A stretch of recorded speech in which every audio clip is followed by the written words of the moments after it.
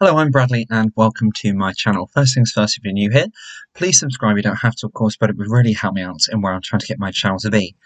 But that aside, today we are going to be chatting about something very personal. It is my uh, my journey, my health, my experience. Once um, a lot of my subscribers will know that I have struggled with a lot of groin-related problems after groin surgeries. Um, all stemming from um, having hernia repairs, something which started off, which I would have thought was quite simple, which actually changed my life um, for just coming up to six years now. So huge, really um, huge change in my life. Um, when, of course, it's happened, uh, it's changed me as a person. It's taken a lot off me as a person. Um, it's affected my twenties, as I'm sure you'll you'll probably uh, you'll probably agree. Um, when you have a persistent, prolific health problem keep battering away at you as much as you aim to be positive in every situation in every in every week which rolls on um, one after another i try to be pers- uh, persistently positive and and and yeah and you know nine times out of ten i get through it. And um and and everything as well. Now you're probably thinking the reason why i am doing this clip. So I've had a couple of people reach out to me on my channel and ask me how things have go how things are going. And I had one particular person which asked me to share my experience of where I am now. Um, and I've not really been covering it in great depth actually, because um, I have been going through, especially this the, the first four months of the year have been uh, quite difficult, quite sort of up and down, quite tough. Just to give you a bit of a background story from it. So back in 2017, um, I'd gone on holiday in the July. Now I'll really try and compact this um, into a bit more of a shorter story, but there is there's lots to it along the way. And if you ever do want to ask me a question, please do leave them down below, and I'll be very open, very very honest, and I'll tell you a little bit more about it in greater detail. So I had gone on a holiday in June 2017 with the family. Um, I'd fallen over and I'd got back up. Um, first of all, I thought I broke my hand, thought I broke my thumb. Um, I didn't think really know more about it. I was uncomfortable, but I was okay. Um, and I thought I'd pulled sort of my leg possibly from how I'd fallen over. And then we'd done some cycling. I can't quite remember if we'd done the cycling before or after. Um, and then out of nowhere, I really noticed this real uncomfortable, dull, pull sort of lump in my groin. Very uncomfortable um, in the lower part of my right groin. Um, very uncomfortable in the bend of my leg. And, um, excuse me, it was it was uncomfortable, but I, I could bear with it. It didn't ruin the holiday, as to speak. Anyway, as I come, I came back off holiday. Um, I decided that, do you know, if it went away, I wouldn't really bother with it. Uh, it could have been a pull or a strain or anything like that at all, and I was fine. Um, then it was September of that year. I had gone on holiday again, and again with the family, really, really great time. However, we were doing lots of walking, and strangely enough, I could feel this in my leg more. This time, much more prolific, much more of a nuisance, um, and a real bothersome ache, like almost pulling on the bottom of my stomach. Then when I came to come on uh, to come home um, on the plane, something had happened, um, and the hernia had pulled through and was really quite hot, quite horrible, quite disgusting to be quite honest. In my groin, it was in, it was quite a mess. I couldn't walk. Um, I, every time I was putting my foot to the ground, the burning sensation was quite horrific, um, and it was really really difficult. I came back. I got checked out by the doctor. I still persisted to work but it was gradually getting worse. They had um, sent me for some scans and they diagnosed it as a femoral hernia and that I was to get it repaired quickly because it was very risky. Um, I had private medical care insurance at the time, so I was seen very, very quickly. Um, I worked right up as, as far as I could until I became really quite unwell with it. And I remember one day I was talking to a customer. I worked in uh, retail banking, uh, worked in a very big branch, beautiful branch, like a very old fashioned, almost like a temple-like building. Um, and uh, I remember talking to a customer in the middle of the banking hall, very busy banking hall, which I used to run, and uh, all of a sudden it all dropped through, and it was horrendous. This hot lump of discomfort, um, and I could barely walk. And I think shortly after that, uh, I had it I had the operation done. So November 2017, I had the first operation done, um, and I was okay. As soon as I came round, I noticed I had a, a real awful bladder problem. Um, I was needing to go to the bathroom constantly, and I didn't really think too much of it at the time, but it was it was uncomfortable. It was bad. Um, the day of the surgery, I felt another lump. Um, unfortunately, sort of again a few extra pieces to the story after that. They'd found that I had um, an inguinal hernia, so I had a very, very slow recovery from that, and I had picked up some sort of bug or some sort of germ, and I was really uh, vomiting really quite badly a few days after the surgery, which I'd had. So I didn't get on very well. It took me a very long time to recover. Um, my walking and things was very badly affected, um, but I recovered after it wasn't weeks. I'm afraid it was nearly two months, and following that, they confirmed again that I had this other hernia in just up above the one I just had done. So I unfortunately struggled on and it got to the point where I could barely walk again with it and it was affecting everything. And then July 18, I went in um, and the same surgeon, okay, um, I had the next hernia uh, repaired, uh, both with mesh. The first one was with a mesh cone. Um, and after that, I had really bad bladder problems. Again, I was really, really slow to recover. Um, it was almost like the surgery had aged me. Uh, I I'd kind of lost my kind of physical almost um, sharpness, as to speak. Um, my walking, I was really kind of struggling to move around in my recovery, that type of thing. So again, it took me, I would say, nearly another two months, which should have been just a simple hernia operation, um, and I'd had two.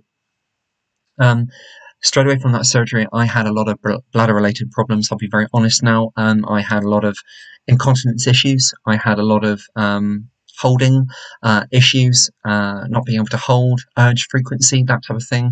Um, I was only, I was, I'm just turned 25. Um, horrendous, wrecked my life, ruined my life. Um, a really horrible, horrible time. Um, I did get to a stage where I was uh, physically better, but the, the bladder problem and um, that never went away. Um, and that was really, really bad. 2019 wasn't great. Again, I could feel some sort of dropping sensation in my groin. In the back of my head, I thought, surely there's not a third one. What's happening? Type thing. What's happening to me? Um, we got through to about halfway throughout the year.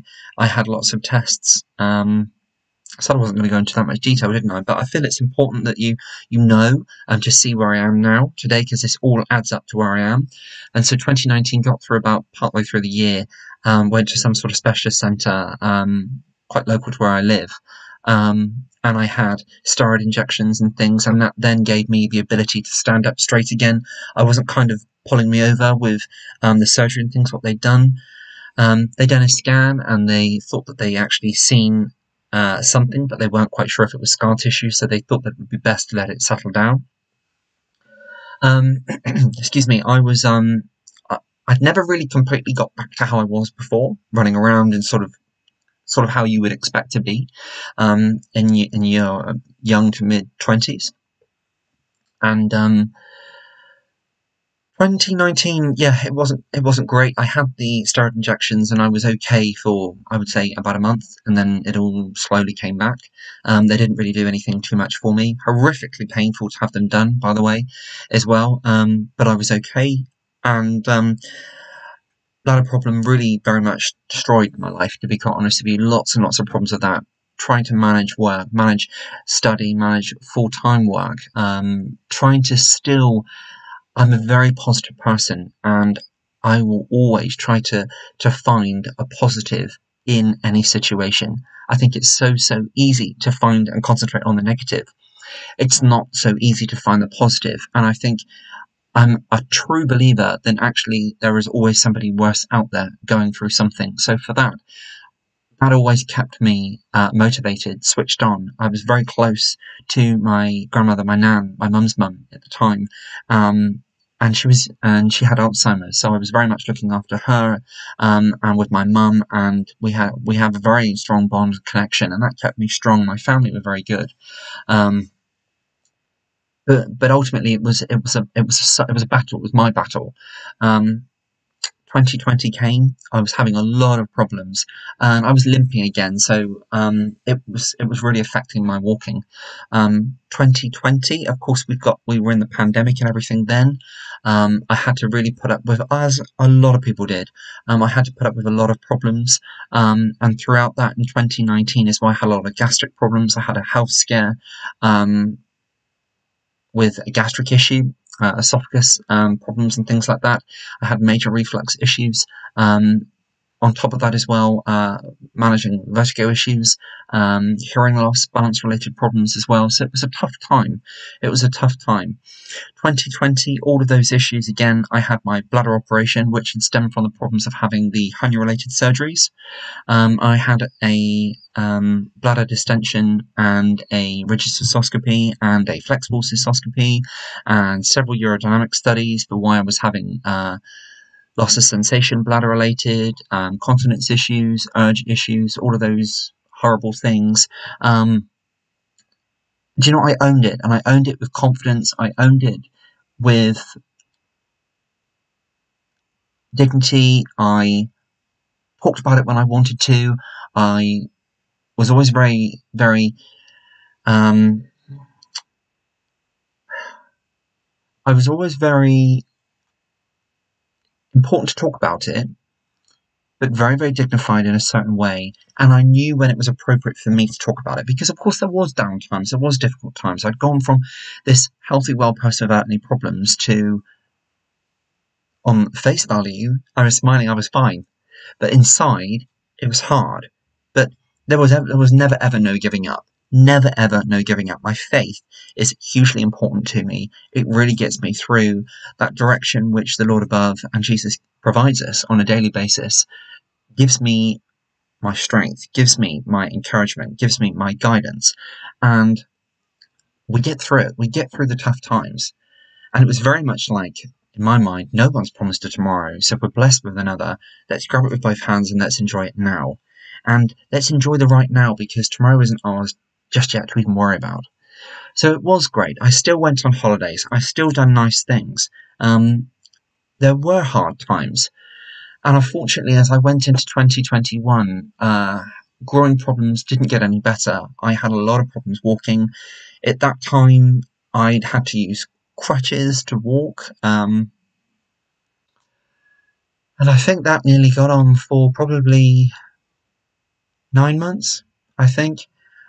Um, I'd seen a vestibular uh, specialist at the time because my, my, foot was going blue. I was having loss of sensation. I'd seen my original surgeon. I'd seen a vestibular specialist. I'd seen another specialist. I can't remember their name. Then I was eventually uh, referred to this specialist um, surgeon um, who specialised in hernia-related problems um, to the severity which I had, and I think I was told that I was in less than 1% of people went on to have these chronic type of conditions and issues which I had. Um, so I was referred to the specialist clinic, and I seen a whole host of different people, and straight away they said that my original mesh cone, which was to repair my femoral um, hernia, had dislocated and it had been moving and causing me lots of problems, hence the bladder related problems. Um, I was having bowel related problems as well. Um, so all of those problems.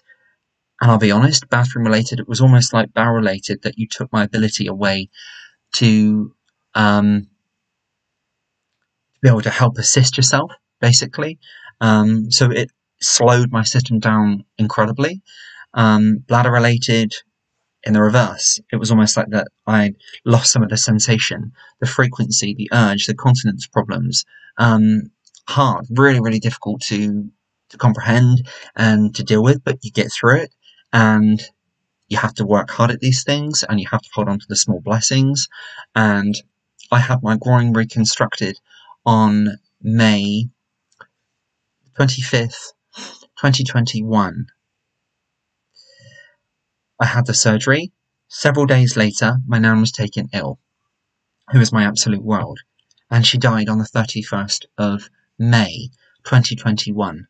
I was just a couple of days out of surgery, and I could barely move because it was big surgery. I'd had my groin reconstructed, I'd had a triple neurectomy, uh, had the three nerves cut um, and things removed. I had another hernia which they found, um, and that was sorted out for me. Um, all the old mesh was taken out. I had all new mesh. They showed me pictures of it, and literally every surface of my groin inside was this different type of um, mesh. But of course, very quickly that went out the window. Um, before my nan was taken ill, I developed a huge hematoma um, full of gas and liquid, and it was absolutely huge, almost like the size of half a basketball. It was horrifically heavy, painful, um, and I was taken back into hospital for them to look at that and for them to help me with that. And they picked up a cyst on my kidney I had then. Um, so, not great times. And then we had the call on the Sunday that my nan, um, and I see my nan all the time, and um, she's my absolute world, and my it's my mum's mum, and um, very very close to my mum, very close to mum and dad, very close to mum and very very close to nan. It was almost like I had three parents, and um, we'd had um, we'd had the call on the Sunday around about twelve o'clock that nan was having dinner, and um,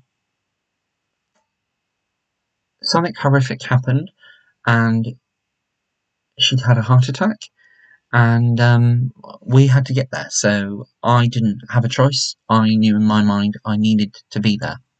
So all throughout the day on the Sunday, um, right the way through the, the night, I was sat in a chair beside my nan, holding my nan, talking to my nan, loving, caring, and looking after her. And I wouldn't have had it any other way. Wouldn't have had it any other way. And um, we lost her at 20 past 12 on Monday 31st, um, which still breaks my heart today, and I think it always will. Um, and it's really, really hard, really, really hard to have gone through all of that and then to have lost Nan at the um, same time as well. Um, she's been my rock as much as my mum has and my dad. Um, so yeah, really, really tough and hard. So that's all what I went through health wise. where am I now?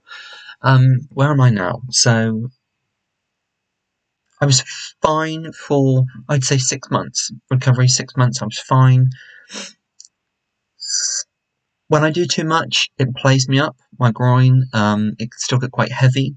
Okay, after that six months, so I wasn't carrying as best health as I was in that after that six month period.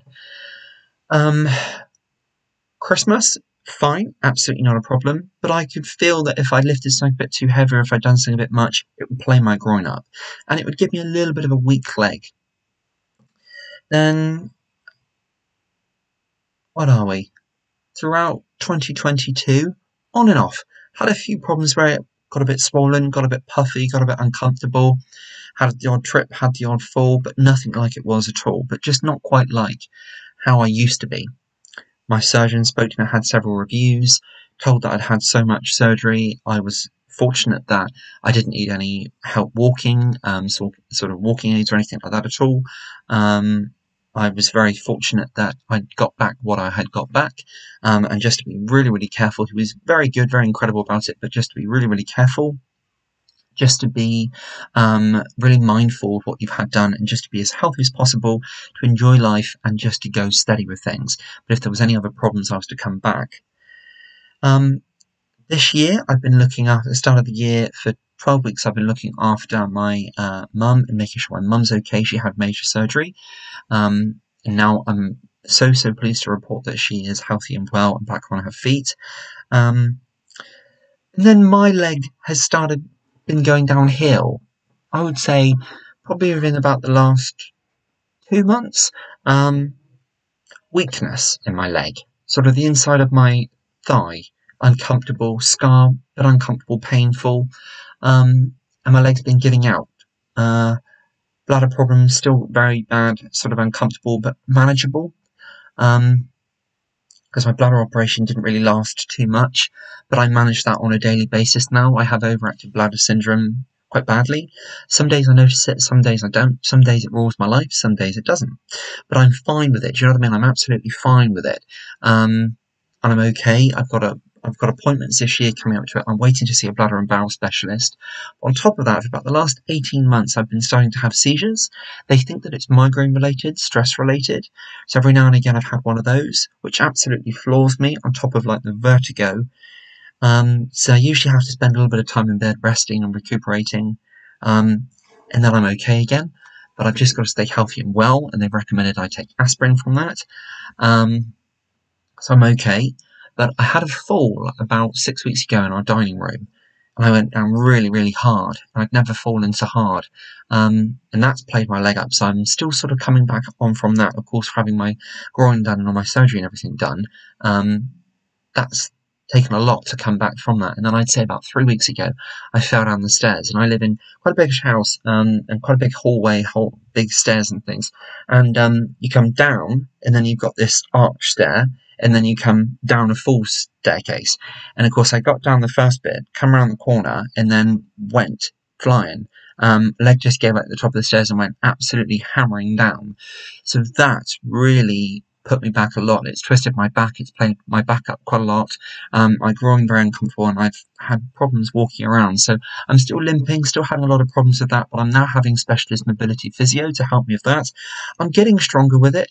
You know what I mean? Um, back in January, I was walking fine. So we're in April. So been I've had a couple of falls. Um,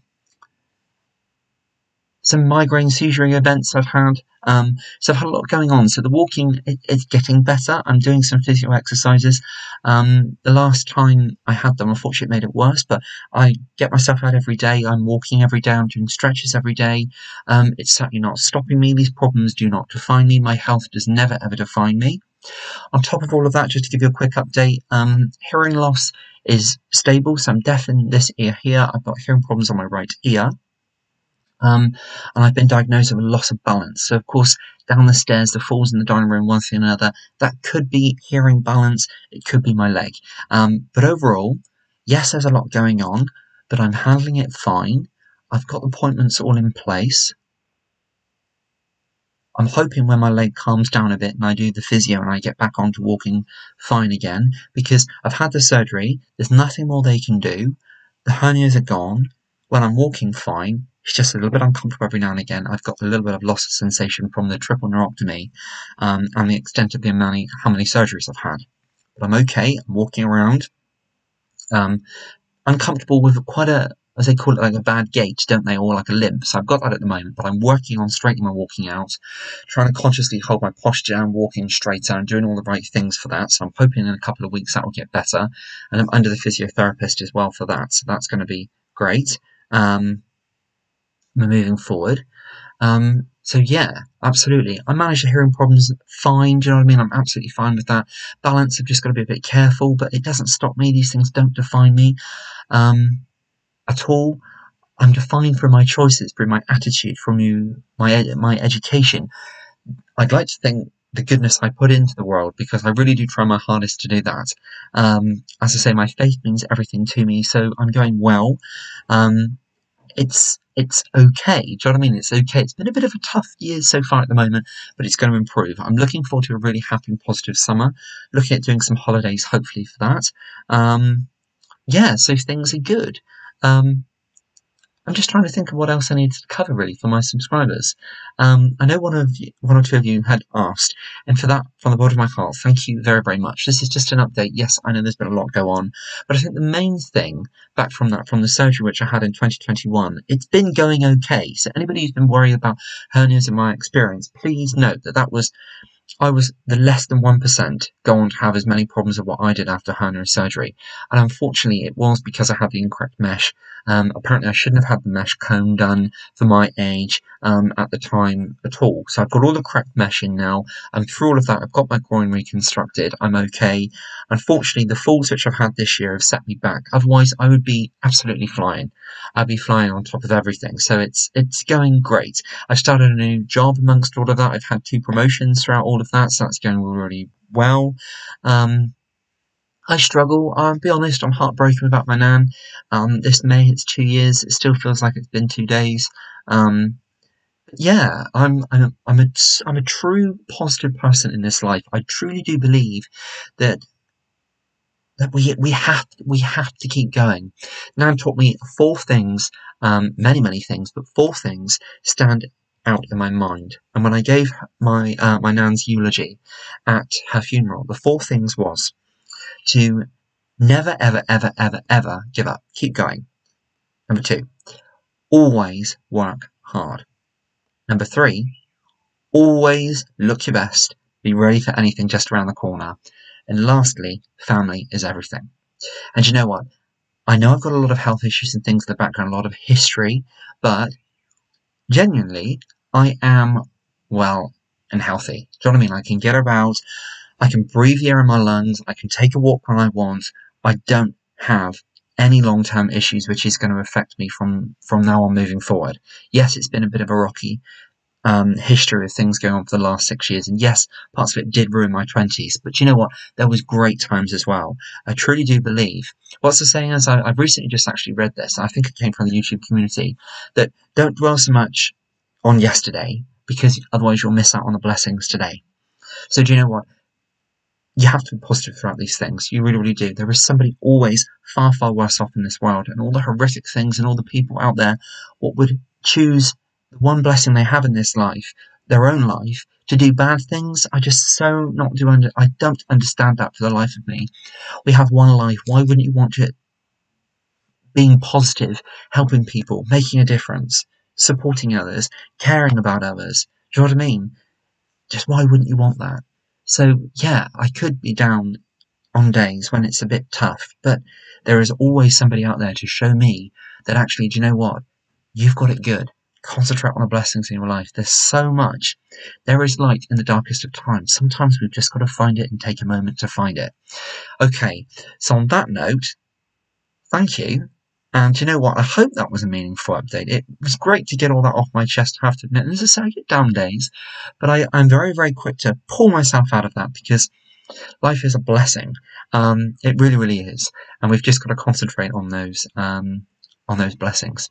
Okay, so thank you very much. Um, I really hope that's answered a lot of questions. I hope you found that interesting. I know it's a bit of a long clip here, but um, it's huge and meaningful to do, and it really does mean the world. So thank you very much. God bless. Take great care. Thank you for being here. And as I said, if you do want to ask any questions, please leave them down below, and I'll do my utmost best to come back to you as quickly as I can. Okay. Last time I'm going to say, God bless. Take great care, and I will be seeing you soon. Bye for now.